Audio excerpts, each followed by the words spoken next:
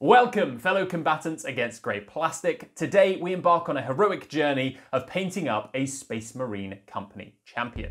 We'll be focusing on the mesmerising glow of the power sword. We'll also be looking to add some reflections to his shining golden helmet, because no self-respecting son of Sanguinius ever skips polish day. Before we dive in, don't forget to like and subscribe, and also join the Discord via the link in the description to get in touch with other gamers and painters from all corners of the galaxy. I started off building as per the instructions before I delved into my Blood Angels bits box in search of the perfect head and shoulder pad combination to give our Space Marine champion a unique and memorable character.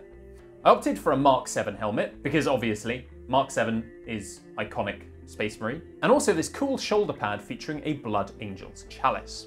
As this is a mini marine piece, the arm needed some snipping to fit the shoulder pad onto our Primaris sized champion. And because we've got a firstborn helmet on this guy, I wanted to lean into some old school Warhammer with a back banner. Back banners! I grabbed one of the Legion banners from the Horus Heresy Age of Darkness set that I had spare. I then made it creepy and 40k with the addition of a little bone reliquary. Sanguinius must have about 100 different finger bones by this point and a death mask from the Librarian Dreadnought sprue, which fits perfectly into this little circle on the banner. With building done and dusted, I moved on to painting, painting up the red armour in my usual way. Check out the video card in the top right hand corner if you'd like to see more about that, as today we're going to be focusing on the unique painting style that I decided to do the rest of this model in. Inspired by the work of El Miniaturista, links in the description, I wanted to evoke some of the epic object source lighting that he features in his posts on my champion. I blocked in the gold details, including the helmet, with Retributor armor. People hate on Games Workshop metallics, but this paint is an absolute staple for me. I love the tone, and it goes on really nice and smoothly. Next, let's give a light source for some of those reflections. The power sword is going to be the main source of light and the main thing I want to draw your eye to on this model, so I base coat it with a very light blue, sky blue from Vallejo. To this mix, I added gloss white. I'm using gloss paints here in an attempt to give a little bit more reflectivity. And I mixed this in with the sky blue, using this around some of the finer edges, as well as the sort of power source towards the bottom of the blade. This is gonna be the area that's got the most concentrated energy, so I want it to be the brightest. I first attempted to highlight the gold helmet using the same colors as the power sword, However, it didn't look quite right. Rather than just applying the blue tones straight over the gold armor, I instead mixed some of my blue tones in with my gold, using this as my highlight colors. I started off by mixing the sky blue with my Retributor armor, and used this to apply towards the sharpest edges. I next did the same with medium blue, applying this in a strip towards the sides and glazing the join to make sure that they map up correctly. Now it's really interesting, I think I've got a long way to go on this technique, but it's a really cool first start to see that you can actually mix metallic paints with non-metallic paints to get the kind of reflections and the light sources that you might want. Definitely something that I'll be exploring more in future. I then mixed gloss white in with my Retributor armor, using this in a central line to mark the brightest reflective point in the center of the armor. I also used this color around the very sharp edges closest to the blade. One of the key things to note about painting this kind of object source lighting is that it's most effective when you have a very, very dark contrasting other side of the model. So that's what we're going to focus on next, starting with the helmet.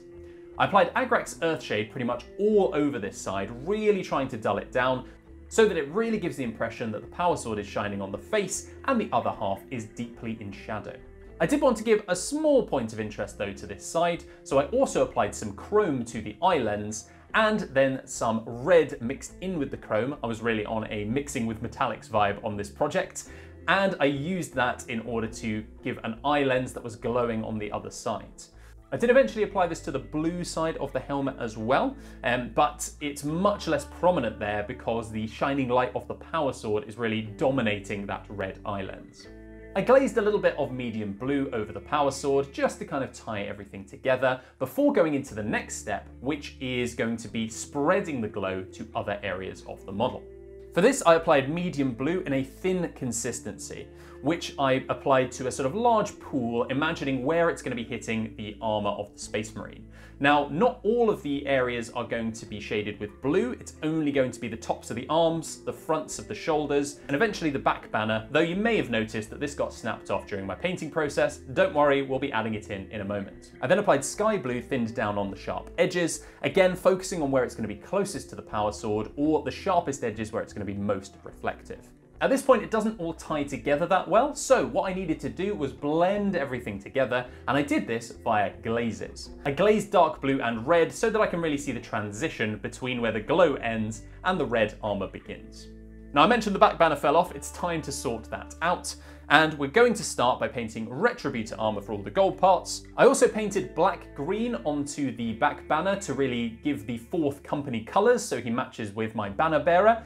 Um, however, I will say that later on in the process, this gets pretty much completely covered up. There's a couple of extra details on this back banner, including the bones, which again I painted with brown sand and then a mix of brown and off-white to highlight.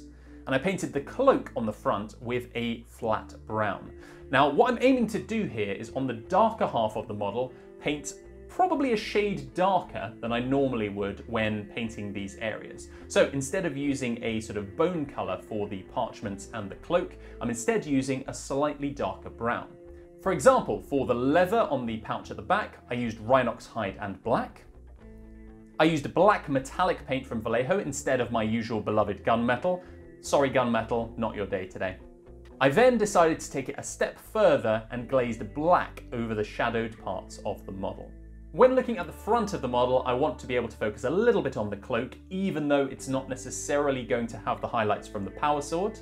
So I decided to bring this up a little bit in terms of its lighting.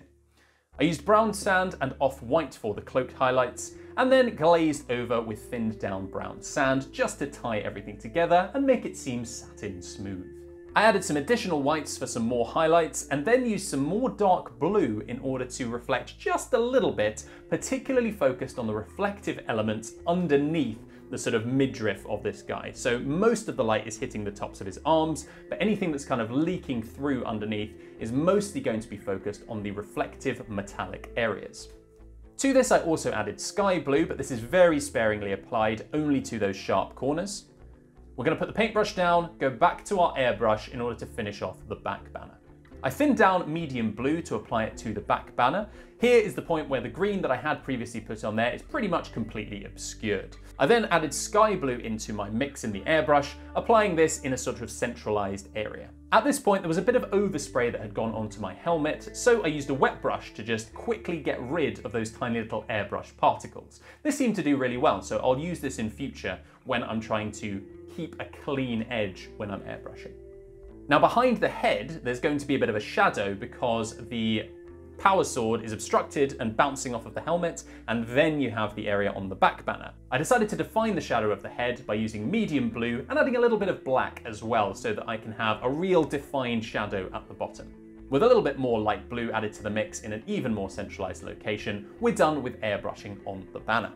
Now at this point, I decided that I wanted even more shadow, so I put some black in my airbrush and blasted the shadowed areas with this. Because I've now lost a lot of my mid-tones, especially the red armor, I came back in with my airbrush with some Mephiston red, and then some Evil Sunz Scarlet, and then used this as well as blending with a paintbrush to re-establish a line of that red color just to the edge of where the blue light runs out.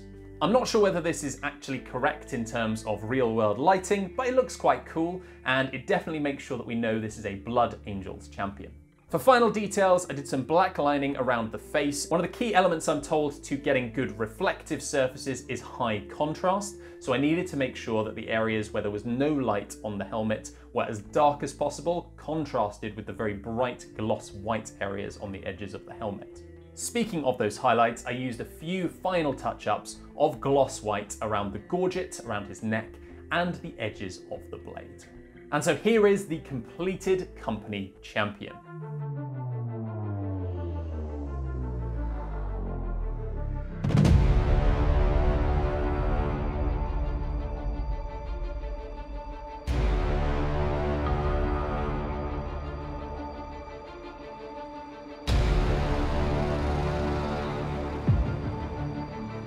This was such a fun project and really got my brain working trying to do a few new skills. Um, again, links to El Miniaturista, who is the real inspiration for this. Uh, his Instagram is just full of these amazing OSLs. He's got like a Patreon and all kinds of things. So have a look at those links if you are interested in seeing someone do this a lot better than I can. Thank you so much for watching this video. Be sure to subscribe, like, do all the things down below. And until the next one, my name has been Oli. This has been my hobby, and I'll see you next time.